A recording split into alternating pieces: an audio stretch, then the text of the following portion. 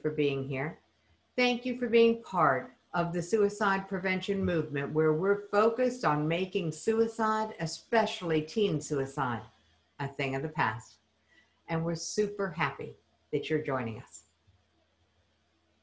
Now, coming up, get ready and get excited because we're going to go into Wonderland. We're going to go into the land where wonder is reborn.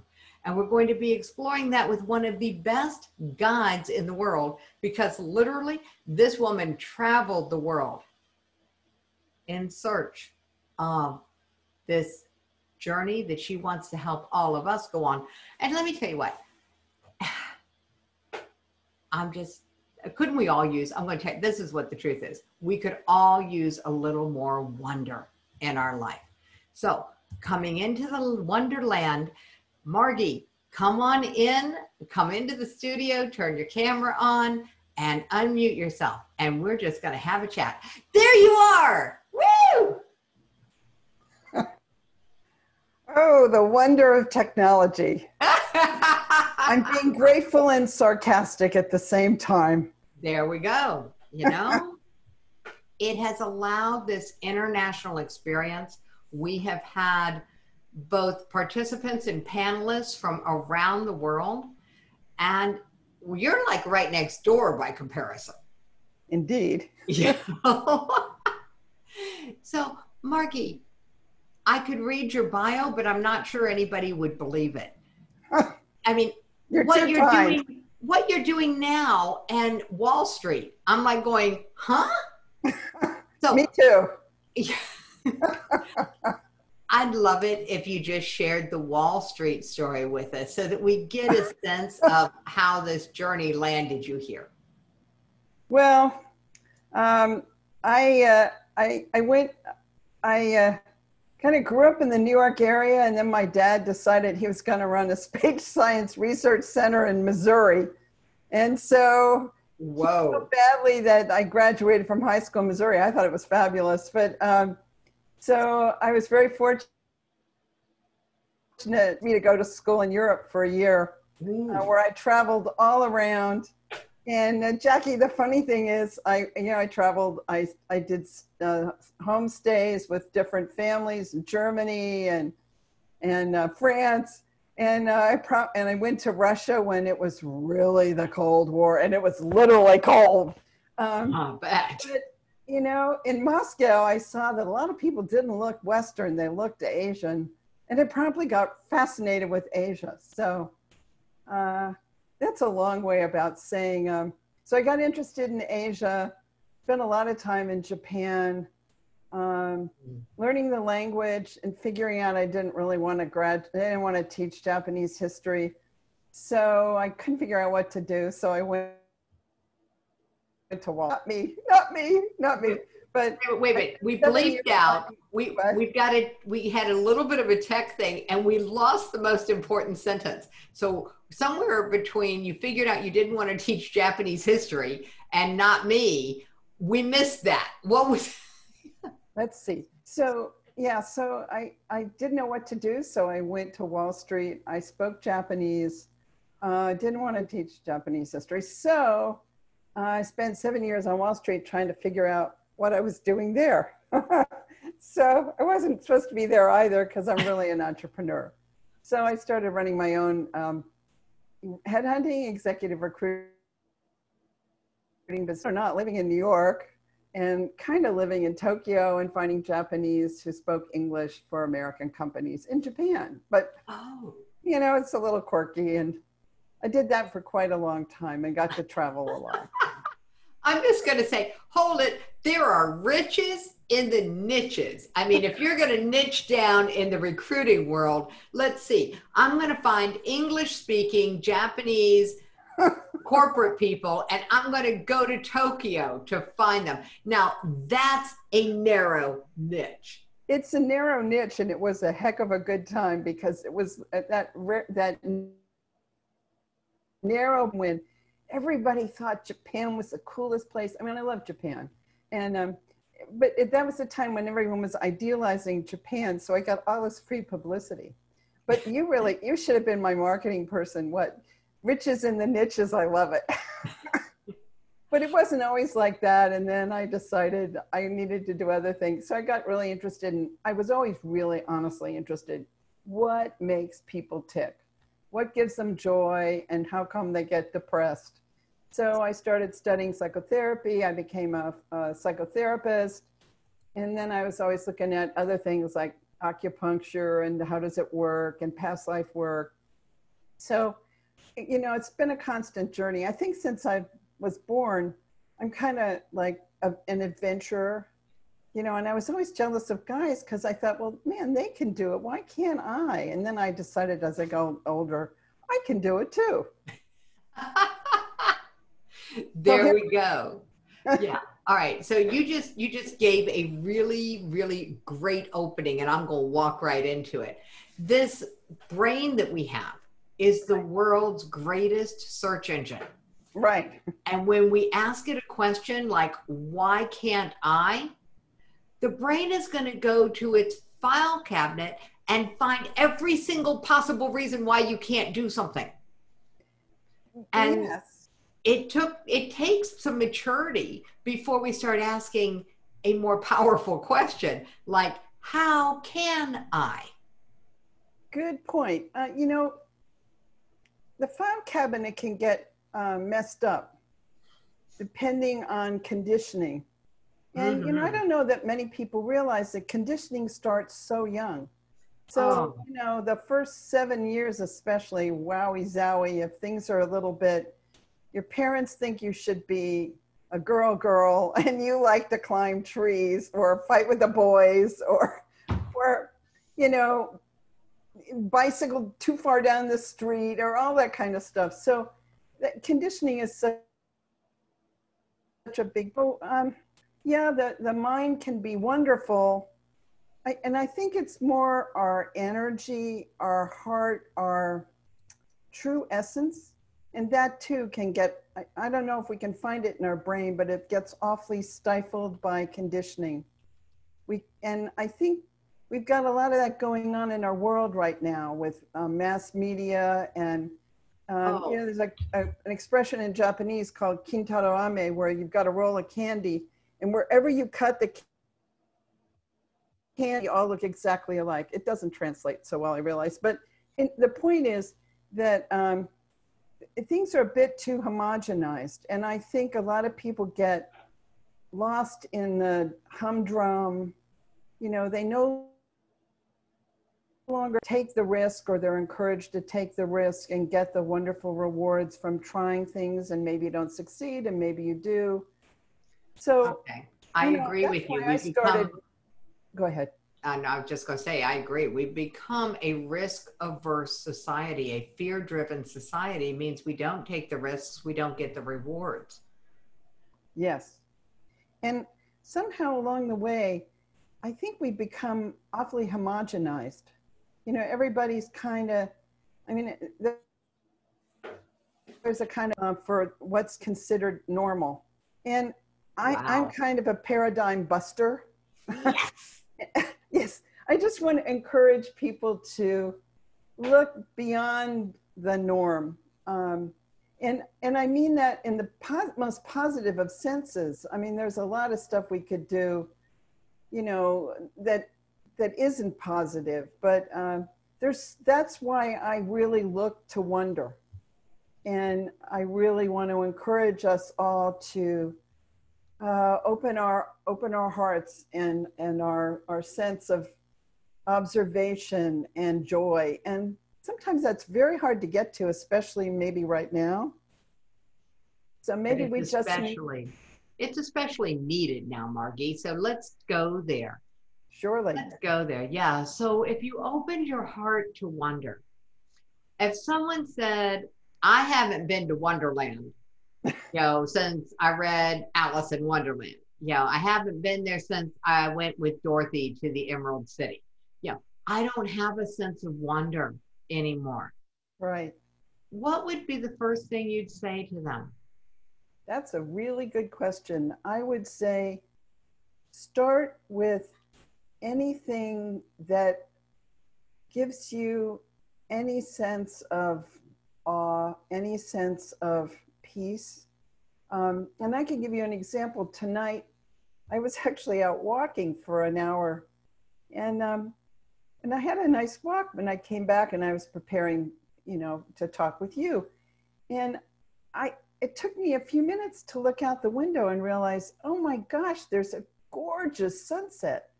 And what I really, this is a long way about saying, I was out walking and it was pleasant, but suddenly there was this gorgeous sunset and I almost missed it because I was busy getting ready to talk to you. Oh, And when I looked out the window, it was extraordinary. So, what I'm, my point here is if we can just find anything that's like a wow, and it often is a little wow. The other night I was walking my dogs really late and I noticed there's this odd shaped piece of grass and catching the street light. And I bent down and it was dragonfly clinging to a piece of grass on an angle. So, you know, that's what made it look odd. And it was just there for the night. And it was so cute. And I was I wanted to be really careful the dogs didn't sniff it or bother it. And it's those things that I think even if you're feeling down or like when is this virus going to be over or anything like that it just it was just such a sense of like oh my not only was it there and sort of tucked into the grass but i could find it but it was also like how did it get there? You know and and it, and i and i couldn't even kind of figure out what color it was. Was it brown? Was it gold? Was it this? Was it that? Anyway i, I think a lot of that detail can inspire wonder. And and Oh. you know if you don't have wonder sometimes i think um, oh it sounds so corny but sometimes you know just looking around and seeing how we can be helpful you know um, somebody's mail ends up in our box and we drop it off at their box or take it up to their door. And i mean maybe these days with covid people might be scared of your point is you know anything that could give us a little bit of um, helping others i always feel more helpful. So i mean more happy so it feels like it's not a bad you know if it's not joy sometimes you get a little like i help this person even in a tiny tiny way all right. So being helpful, even micro helpful. yes I'm going to flip that and say that the other side of that coin is that if we're looking to reawaken wonder in the world, another side is to ask someone to do something for you, to give them that experience of being needed, being helpful, being Good point. important, and watching them step into that yes is a way of reawakening wonder in yourself because the number of people who think I can't ask because everybody will say no. And so they don't ever ask. And Right. if they just took the baby step to ask someone to do one small thing for them, would you, can you catch my mail tomorrow? Can you, you know, one small, easily doable thing might just open that show because we have gotten very true disconnected. it really opens each people's other. energy yes So I'm a firm believer that the greatest act of service I have ever received from someone was when they asked me to help. Very, very good point. And a point that I think sometimes people miss. Sometimes it's much harder to give than to really receive. Oh, it is it is this whole um discussion around what is giving and what is receiving. We could probably go there for like maybe a day or a week. Um because when you're asking someone to help you, you're actually giving them an opportunity. You're actually giving them a sense of recognition that they have something to give. And Right. in a world that we're feeling disempowered, I'm just all of a sudden I hadn't connected this to wonder, but um wondering, yeah. Yeah, and I, you know, coming back to what you were asking about, um, you know, I, I think um, I think it's really important to um, open up wonder and to support it. And I feel very strongly that the world is just full of infinite potential. That's a David Bohm physicist, and there's a film about it just recently put out. But the world is full of infinite potential. And I think it's very important to have inquiring minds and to really look at the positive. I think also when we focus on the dark and what's wrong and what's super homogenized wrong right now, I think our, our vision gets so narrow. We get sort of trapped in these in these um, not only negative but narrow points of view, and wonder just drops away. I call it the negative echo chamber.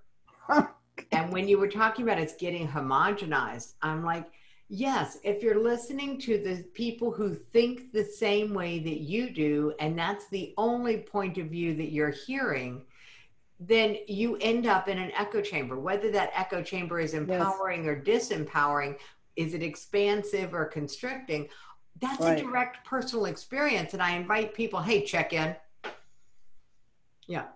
Just do the check in because I think of wonder as being the most expansive state I can imagine. Yes, and and it's right there. It's free.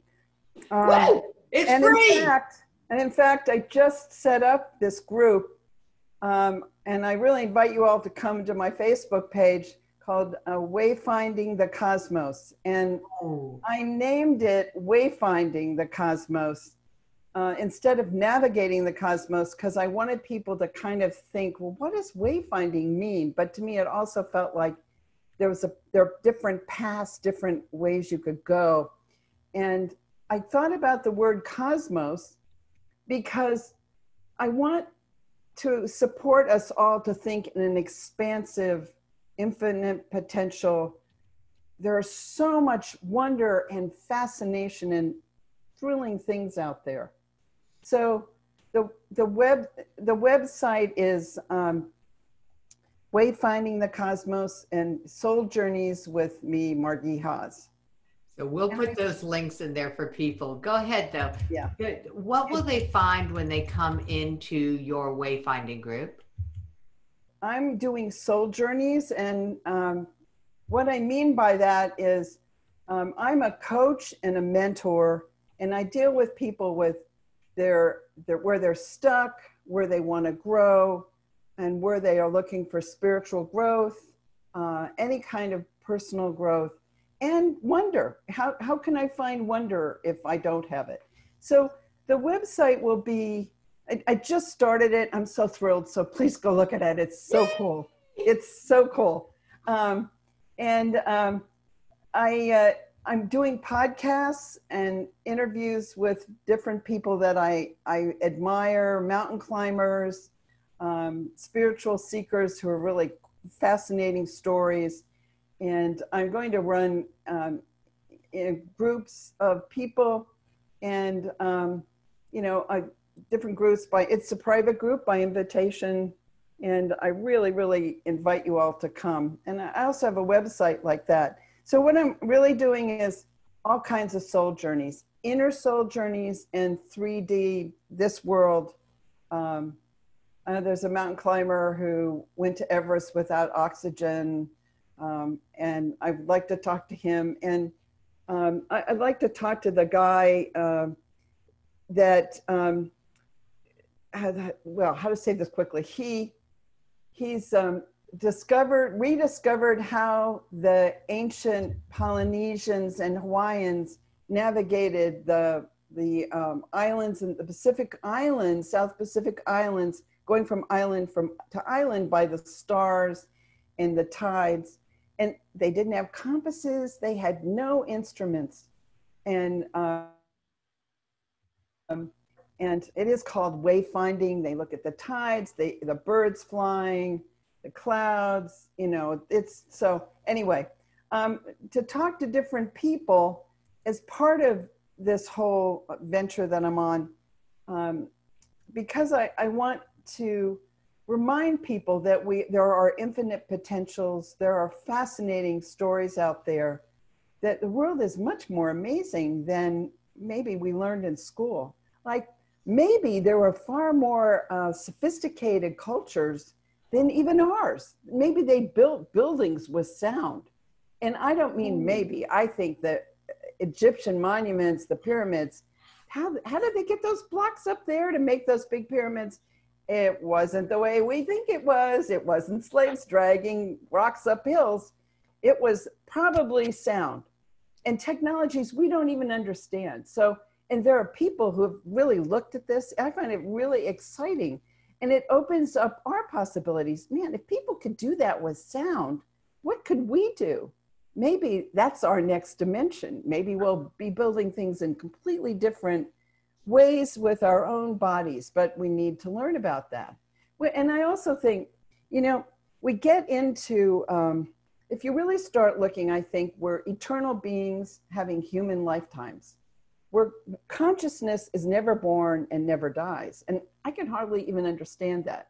It seems like maybe everything comes from one way we could describe our mind. I don't mean our brain, but everything comes from within us. So, what does that mean? Well, I, I, I look at different people talking about that, both, Yeah. you know, the Western physics point of view and the Tibetan gurus' points of view, not because I want people to get religion. I want them to get a spiritual sense that we're we're never born and we never die. You know, Chief Seattle said, "We're never born. We're ne- we ne- we we change worlds when we die, but we're never born. We never die." and you know i'm just it was it was just this lovely thing listening to you talk and i'm going yeah you want people to not get religion you want them to get perspective Yes, and I, I want to support them to grow and feel delighted that they're growing and that that they're not stuck in their humdrum. cool all right getting people unstuck from humdrum would certainly be a prerequisite to getting them into this world of wonder so Yes, or you know, I support people to tiptoe. They might feel like they're they can't get out of the humdrum. But what if something if something causes your energy to go up and you feel kind of, well, I'm curious. That's enough. That's enough for me to give support to people and maybe we can expand their point of view just a little more. Got it. So it's not about eating the elephant. It's about being willing to get near the elephant. Yeah, let's let's just get close to the concept of wonder. Yes, and you know, wonder can be so tiny. That dragonfly, you know, in, in the streetlight, um, or birds flying over. You know, uh, you may know that I have this passion to study um, birds, and I especially like swallowtail kites, which is this gorgeous high-flying hawk. It's just beautiful here in in in Florida where I live, and and throughout the the southeastern United States. And so many people ask me, "What are you looking at?" And and I'm especially when I'm standing on the street and they're curious, which is good, curiosity, wonder. But you know, so they ask me, and and they and I say, "Have you ever seen him before?" And they go, "Uh-uh." And and when I describe it, they go, "Uh-huh." And I, I'm not knocking people, but it's amazing. They they don't see them. They Mhm. just don't. And these are beautiful birds. In fact, the people who see them are like, oh my God, the most beautiful bird. I, it's funny, I've done talks on this, and you know, men get crazy poetic about them. All these men are like the most gorgeous bird straight out of the movie Avatar, this and that. And they are, they're gorgeous. My point is, they're right there and they're free. And then I start looking and it's like, how do they fly like that? I know it's sort of an obvious thing, but how do birds fly? And when you really start looking, it's like, wait a Oh, minute. it, it's not so obvious. Birds No, have hollow bones. I mean, you know, there's a there's a reason that they're a little more aerodynamic. Um, that you know, somebody used to say, you know, oh, you know, you eat like a bird. And then I was doing research for uh, one of my college projects, and I found out a bird eats like 300 times its own weight every day because Right, it spends right. so much energy flying. And I'm like, oh, I am so glad I don't eat like a bird. Yeah. and it shows how they really don't understand. And Mhm. birds eat a lot and stuff it in their gullet. I didn't even know what a gullet was for a long time. But that's sort of like an extra stomach, sort of before they, you know, when they're busy, they just stow it down there and then digest it further. So anyway, um, they're just. So I'm thinking chipmunks now. I've gone down the Yeah. rabbit hole. I'm like, you know, oh yeah, chipmunks do that, and you know, what else does that? And yeah, the, the the reality is there are so many interesting things that are just, and people are like, but it doesn't matter, and I'm like, you're Right. right. The facts don't matter.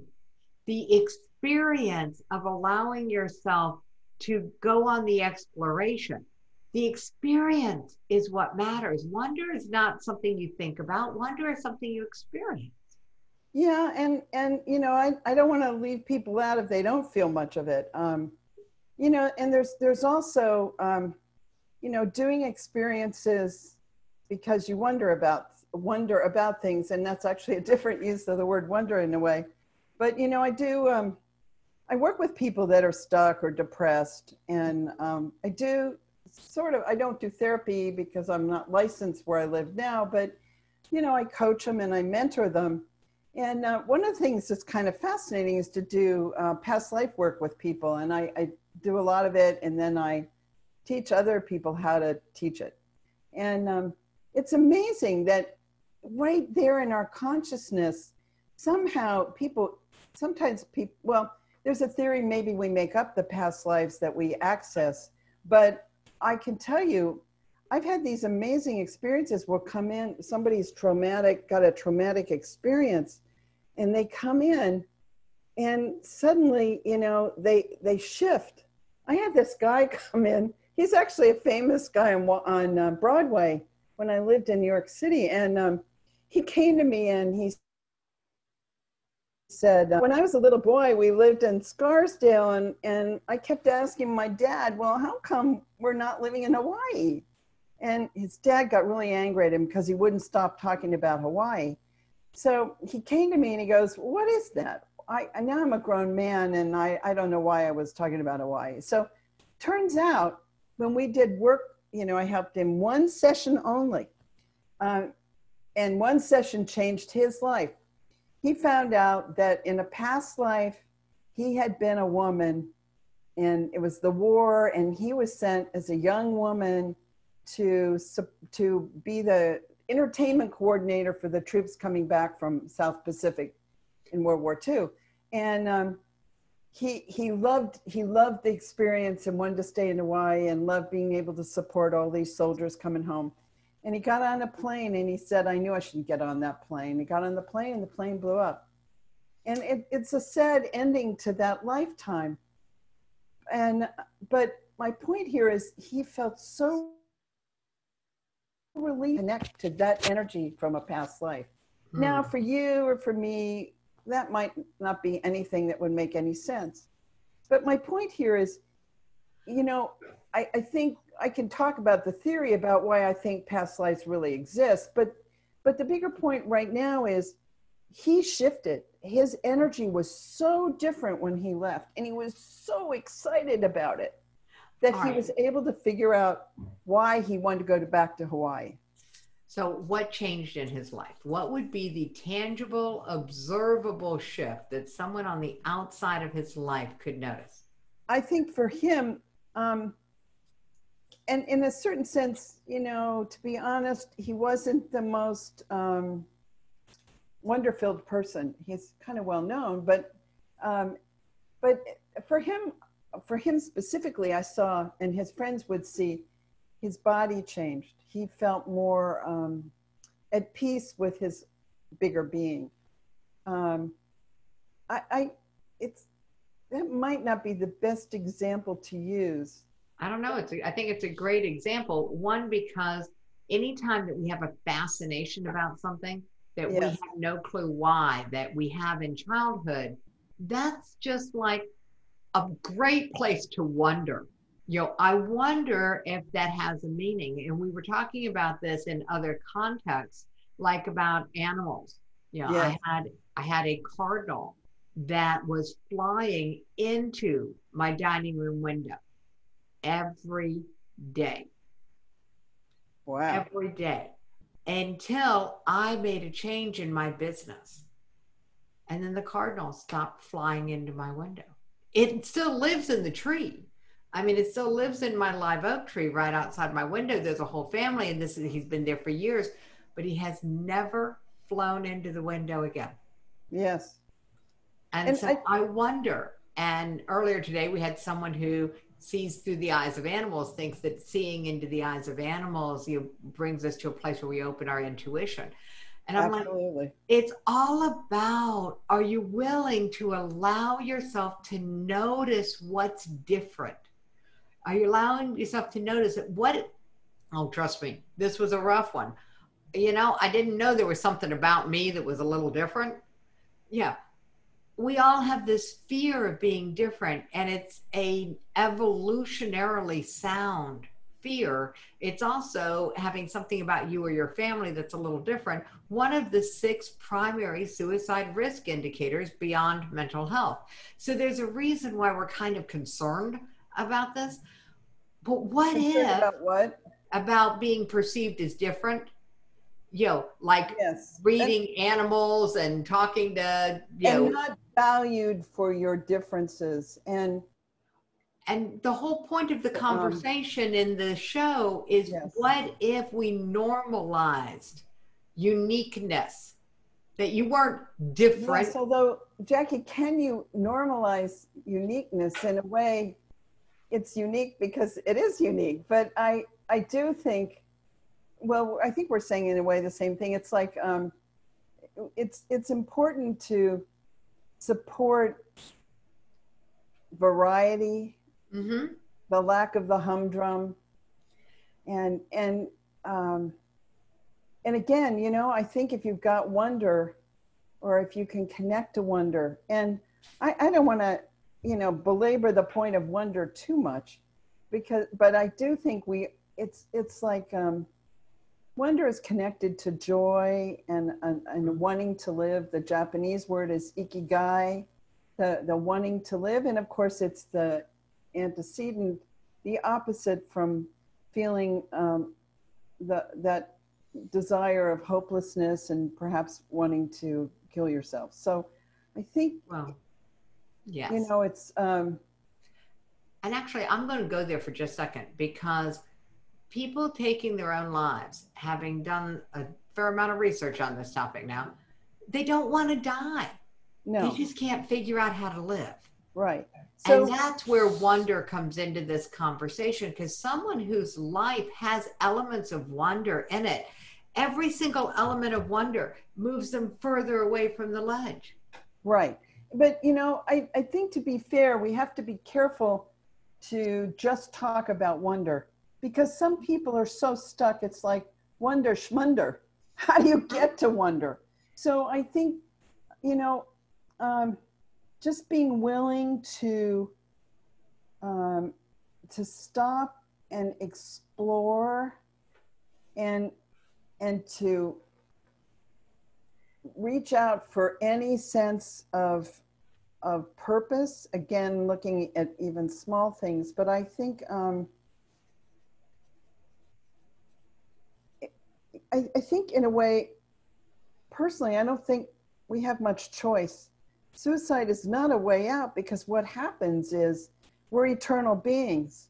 So you don't get out that way. You you, you know so i mean it's it behooves all of us to start helping people who are troubled as Oh, much as we can. But it, it- but and that's where i really want to support people um, on their spiritual paths you know what what does give you a sense of purpose Mm-hmm. so what does what does make you want to get up in the morning and not pull the covers over your head? And we all have days like that. Um, but but I I think you know so that's my commitment as a coach and as as um, as a mentor. And this website also is called Wayfinding Your Your um, Wayfinding the Cosmos um, dot com and Awesome. I actually offer a personal guide as a free gift called The Rebirth of Wonder. And if you go to my website, uh, wayfinding the cosmos forward slash gift. Aha. You'll find, and if you give me your email, then I will happily, you can happily get your personal free guide to give you some tips on how to get going with soul voyages. So I think doing voyages or doing exploration internally and and um, externally, you know, in the spiritual worlds, the inner inner dimensions, out in third dimensional world. That's one way, and I, I offer some tips on how people can begin to connect to wonder. What a great Sometimes idea. just being in the question is a big deal. So Yeah, absolutely. Being in the question is a big deal. it is. And, you know, the questions.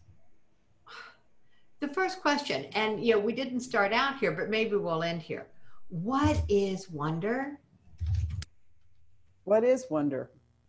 Well, I, I think we've skirted around it. Um, I think it's it's a sense of actually it's wow I don't even know necessarily what I'm looking at or what I'm feeling, but I'm my my energy is open, my heart is open.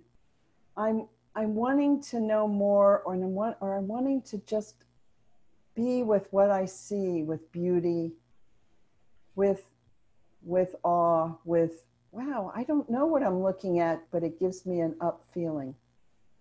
You know, gives me a feeling of of wow. You know, I I it's it's I'd, I'd like to to go on and on about more time. I, I do want to say that in um, if you get my free gift, I am offering a few um, free uh, 30 minute sessions to talk to me and we can explore this on a one-to-one basis more to see if that's something that um, how, how do you access wonder or how do you be with wonder or how do you get rid of the stuck places to get to the wonder you know Got it.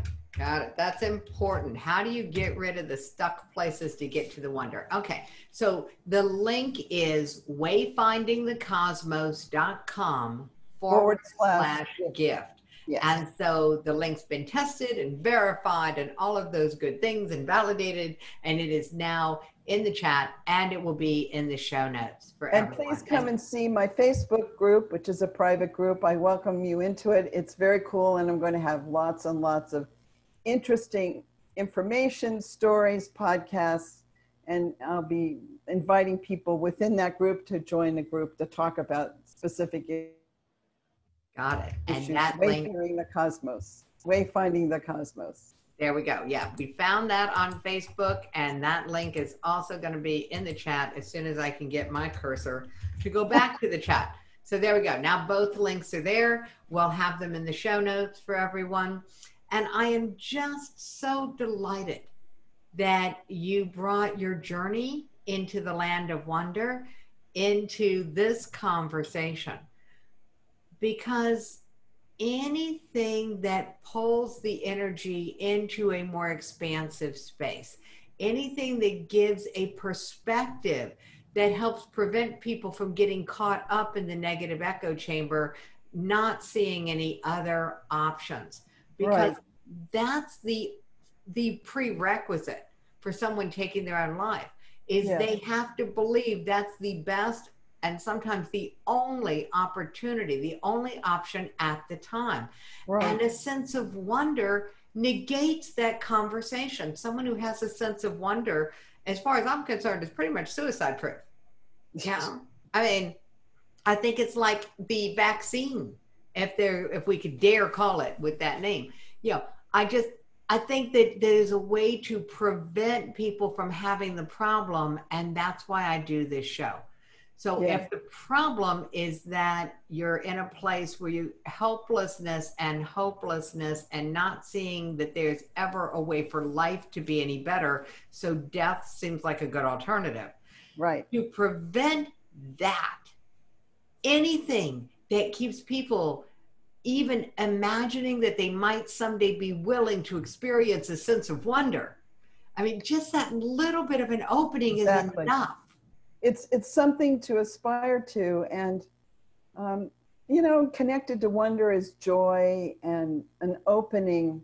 It's it's obviously an opening, and Yeah. it, it it's to me the word wonder is is positive, and sad to say there's just no suicide and taking one's own life just puts yourself in a hole button and you have to come back and do it again.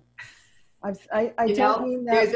There's a perspective on karma and there's a perspective on reincarnation and both of those play into a bigger perspective on this eternalness Right. of our life and that we kind of borrow the human suit for a few decades Exactly. Because Yeah. and, we're and eternal. And, and- and if somebody has that perspective yes, that changes the conversation from the get-go and someone who has a different perspective then being willing to stop being busy long enough to be curious and on the curiosity path you might find your way back Yes. to wonder And I do want to say that, you know, one of the things that I look at and encourage is for everybody to be the entrepreneur of their own possibilities in life, which means that we can all be different. And it goes back to one of your questions earlier. You know, variety is wonderful, and that we're not all the same is a source of wonder. Um, that we're not all the same even twins are Yes. not the same so it's not about how you look it is about the essence of who you are yes, exactly. and celebrating that uniqueness when i said earlier you know making that the norm normative you know making it normative that we are all unique making this the accepted way. It's like oh wait you mean i'm special? And so are you. So wait a minute how can i be special if you are? And we get into this whole negotiation and the reality is yes, you're unique. And Yes. so is the person next to you, and so is the person on the other side of you. And from that perspective of acceptance, that we're supposed to be unique, we're supposed to have our unique perspectives, And- we're supposed to have I- our unique thoughts. what I want to do with people is to support them to take journeys. I call them journeys.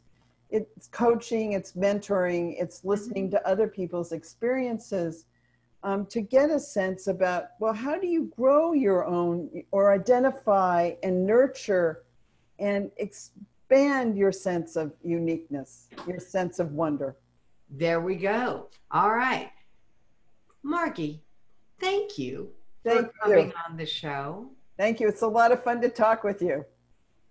It's a lot of fun to talk with you. So we will see you in Wayfinding the Cosmos, and everyone can go to wayfindingthecosmos.com forward slash gift and grab all the goodies. And and it, there will be a few sessions in there Mhm. Um, I, can, I offer a few free sessions. That, um, please sign up if you'd really like to do that once you get your free gift. And join go. my Facebook group. I really want you guys there. Me too, Jackie. I joined as soon as I got the link from you. That, you know, just so you'll know. Okay. Thank you. Mwah. Have a wonderful you. night, Margi. You too. All the best.